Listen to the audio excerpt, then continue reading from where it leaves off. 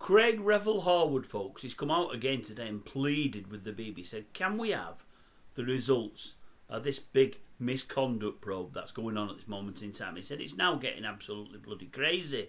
They've never ever carried on a probe this long in their whole lives.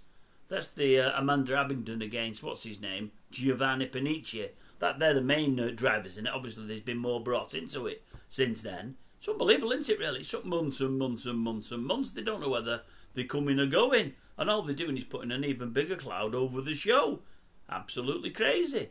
Pity they didn't have these kind of probes with old Huw and Jimmy and Rolf and all the others. There's been plenty of others.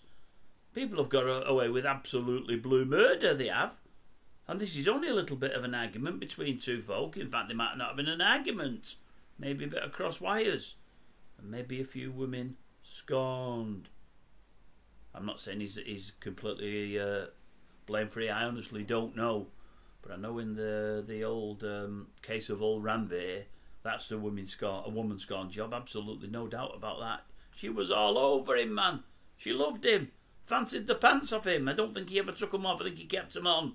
But that's what she was hoping for. Don't worry about that. And all of a sudden, he drops her, and she drops him in it by the looks of things, if you'd ask me.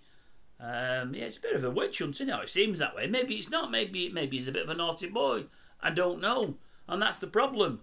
It's taking too long, says Craig, and I, for one, understand where he's coming from. As I say, it's a pity they didn't have these kind of inquiries with uh, past misdemeanours, misdemeanours that were much, much, much, much worse than this you've got to feel sorry for the two protagonists here, especially the one that's innocent, because one of them's got to be innocent, haven't they? They can't both be guilty.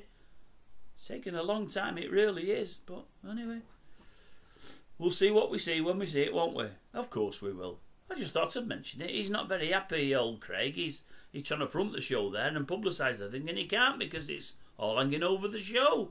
He wants to come back to an happy working environment soon, doesn't he? I understand that.